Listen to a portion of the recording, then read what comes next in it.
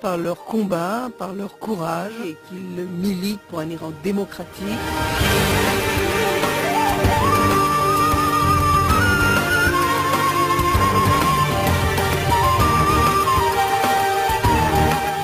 رژین دوفورژ نویسنده فرانسوی میهمان هفته در رادیو فرانسنفو گفتگو درباره مبارزه زنان ایرانی و مریم رجوی رادیو فرانسنفو این رمان نویس فرانسوی تحت تاثیر مبارزه زنان مقاومت ایران است و مریم رجوی را ایدئال آمال ایرانی می داند. برای نویسنده کتاب دوچرخه آبی این زنان مخالف رژیم تهران قهرمان هستند پاریس یک شنبه 16 فوریه رادیو فرانسنفو هر یک شنبه یک میهمان واقعی مربوط به اخبار روز که او را تحت تاثیر قرار داده است ارائه می کند امروز نویسنده رمان نویس رژین دوفورش میهمان ماست که کارزار خروج سازمان ایرانی مجاهدین خلق از لیست های تروریستی را یادآوری می کند برای نویسنده کتاب دوچرخه آبی این زنان مخالف رژیم تهران قهرمان هستند. بیش از سی سال است که مجاهدین خلق با رژیم ایران مبارزه می کنند این مخالفان رادیکال در تبعید خواستار سرنگونی حکومت آخوندی هستند.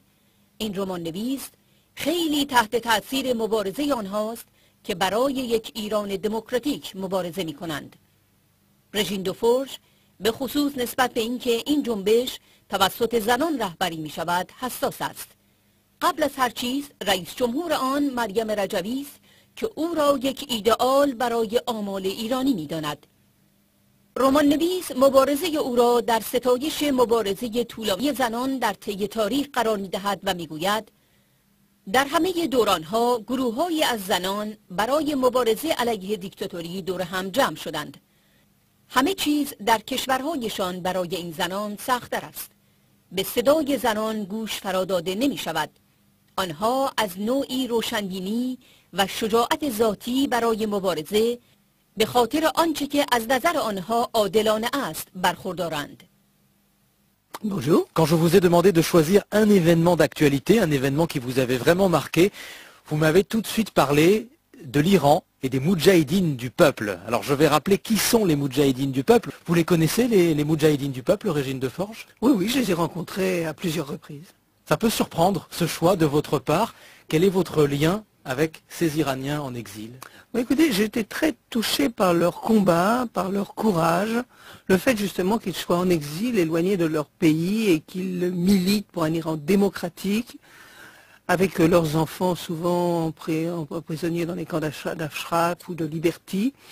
Et il y a une grande dignité chez ces femmes et moi ça m'a touché. Parmi ces femmes, il y a une figure qui émerge. C'est la, la chef du mouvement des Moudjahidines du peuple, Mariam Rajavi. En 2003, et on va en parler, elle a d'ailleurs été emprisonnée en France pendant quelques semaines avant d'être libérée le 3 juillet 2003. Voici le journal de 19h sur France Inter ce soir-là. Bonsoir. Mariam Radjavi, la dirigeante des Moudjahidines du peuple, a quitté Fleury-Mérogis. Ses partisans lui ont réservé un triomphe, une libération qui plonge dans l'embarras la justice antiterroriste et le gouvernement. Nicolas Sarkozy a présenté... Mariam Rajavi qui sort de prison, Régine de Forge, elle est vraiment pour beaucoup d'Iraniens une héroïne. Ah mais tout à fait, tout à fait. Elle représente avec beaucoup de, de dignité, d'élégance et de beauté, parce qu'elle est très belle, l'idéal iranien. Les Iraniens et les Iraniennes euh, exilés se retrouvent en elle. Et elle est vraiment reçue euh, dans le monde entier.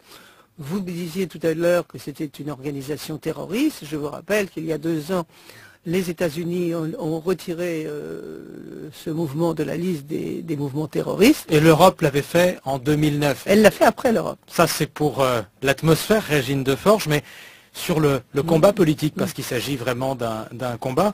Vous savez qu'on on reproche souvent aux opposants en exil d'être loin des réalités de leur pays. Est-ce que les Moudjahidines du peuple ne sont pas loin des réalités iraniennes d'aujourd'hui? Je n'ai pas l'impression, parce qu'elles sont en contact téléphonique souvent avec euh, des personnes qui sont dans le camp d'Ashraf ou de Liberty, ou par euh, des, gens vivant, euh, des sympathisants vivant à Téhéran. Donc, euh, elles sont tenues vraiment au courant de ce qui se passe et elles sont très très inquiètes parce que les, les, exécutions ont doublé en Iran en, espace d'un an. Les enlèvements, il y a eu le massacre du camp d'Ashraf. Sept femmes ont été enlevées dont on est sans nouvelles. Donc elles se battent pour qu'il y ait justement des instances euh, internationales qui enquêtent là-bas. Le président Rouhani, le nouveau président iranien, donne pourtant des gages d'ouverture depuis plusieurs mois. Est-ce qu'elle l'entend cela?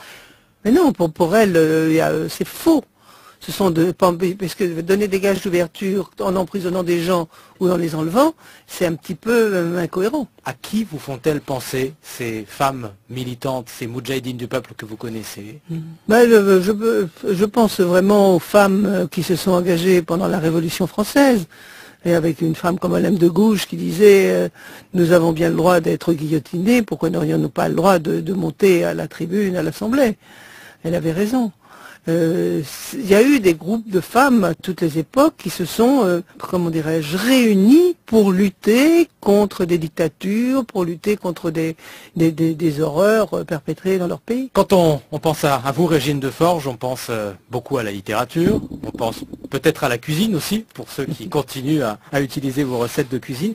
Quel est votre rapport à l'actualité dans la vie quotidienne Votre regard, est-ce que c'est un, regard aujourd'hui d'empathie, de colère, de militante encore Colère. colère, je suis très très très en colère. Parce que je trouve qu'on est vraiment euh, laissé pour compte. Les voix des femmes euh, sont peu écoutées. Regardez le nombre de femmes euh, au gouvernement.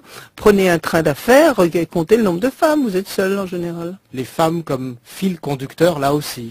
Oui, parce qu'elles ont une forme de lucidité et un courage naturel, si vous voulez mais elles ont ce, courage de, s'affirmer, de, se battre pour ce qui leur semble juste. Plus que les hommes.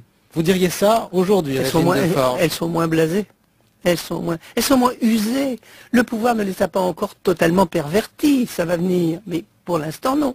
Donc quand vous écoutez les informations le matin, vous voyez les femmes, celles dont vous nous avez parlé, d'autres encore, comme un facteur d'espoir finalement au milieu de votre colère. Oui, oui, oui. Je pense que je ne suis pas tout à fait de l'avis d'Aragon que l'avenir de l'homme, c'est la femme, mais je pense que euh, toute société aurait beaucoup à gagner à écouter davantage les femmes. Merci Régine Deforge d'être venue nous parler de ces moudjahidines du peuple et puis de cette actualité que vous continuez à, à suivre.